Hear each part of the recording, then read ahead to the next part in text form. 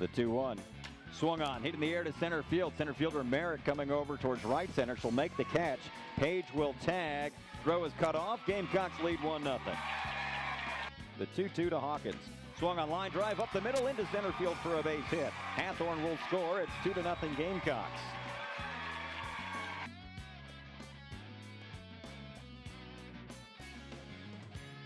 The one-two pitch from Broyles swung on, grounded left side. Garcia's got it at short, steps on the bag for one, relay to first in time, double play.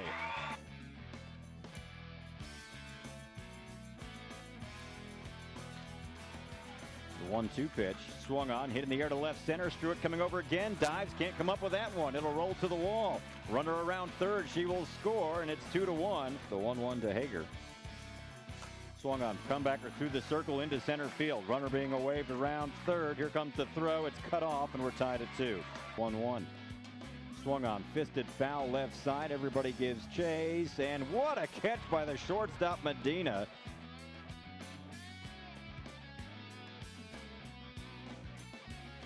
One-one pitch to Masters, swung on, grounded to third, topped over to second for one, relay to first is oh double play, and that'll end the inning.